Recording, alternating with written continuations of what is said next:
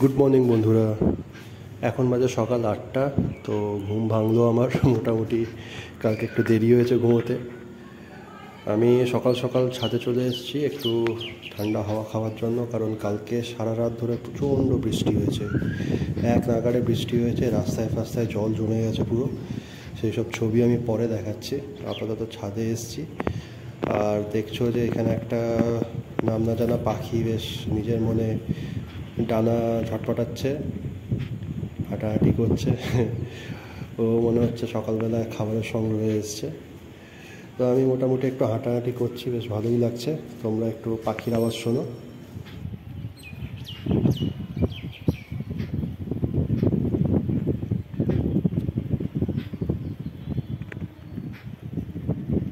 যেরকম বলেছিলাম, দেখো, চারদিকে জল জমে গেছে। কালকে সারা রাত বৃষ্টি হওয়ার ফলে আমাদের বাড়ির উঠোনেও প্রচুর জল জমেছে। আর সামনে এটা হচ্ছে আমাদের প্রতিবেশী। তাদের বাড়ির উঠোনটা দেখো, একদম জলে থই থই করছে পুরো। আজকেও সারাদিন মেঘ করে আছে, মনে হচ্ছে সারাদিন বৃষ্টি হবে খবরে বলছে নিম্নচাপ হয়েছে। তো এই জল কখন সরবে আমরা জানি না, তবে মোটামুটি ওয়েদার ভালো এনজয় করছি, বেশ ভালো লাগছে।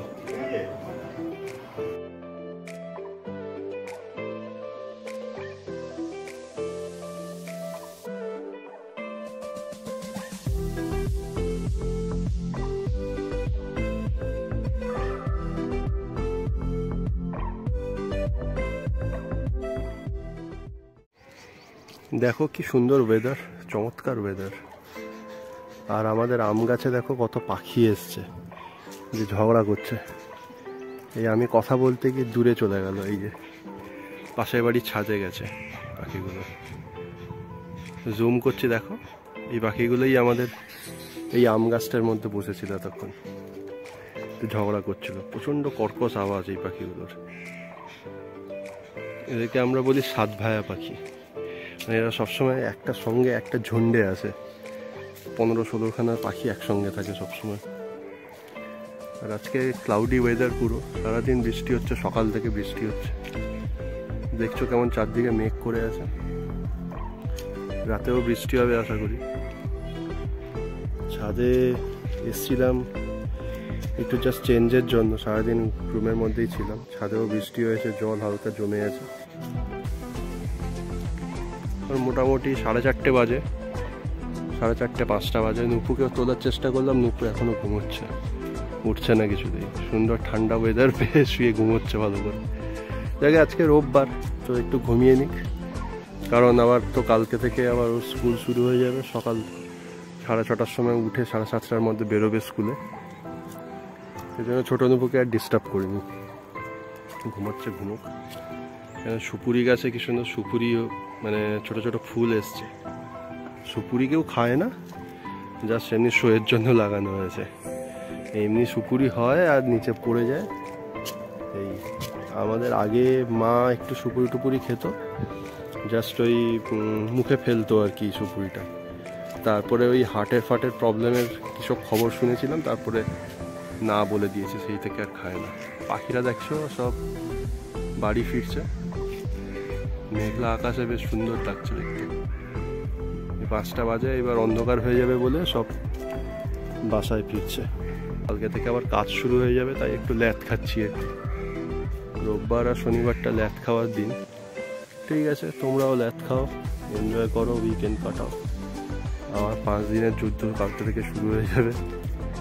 দেখ আর ভাট বকে লাভ নেই, বন্ধ করি, তোমরা এনজয় করো। একটু ছাদে এসছি। দেখো কি সুন্দর বাইরে বৃষ্টি হচ্ছে। এখন মোটামুটি সন্ধে হয়ে গেছে। মোটামুটি বৃষ্টি শুরু হয়ে গেছে। ঝিরঝির করে বৃষ্টি হচ্ছে। খবরে বলছে নিম্নচাপ হয়েছে। আর রাস্তা পুরো ভিজে গেছে।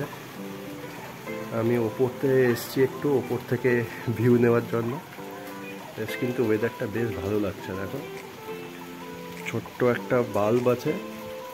যেটা হালকা একটু আলো আধারি করে রেখেছে।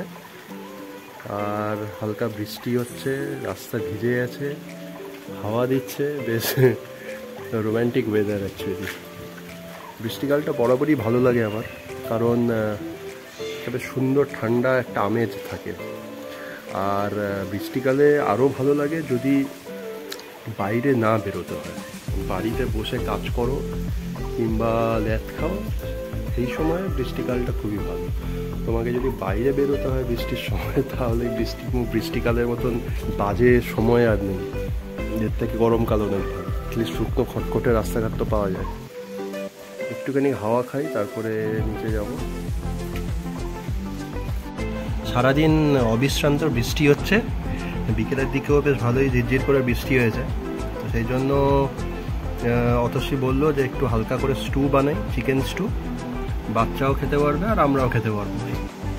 তো সেই জন্য স্টুটা বানিয়েছে। স্টুটা বেশ টেস্টিও হয়েছে, আমি চেখে দেখলাম।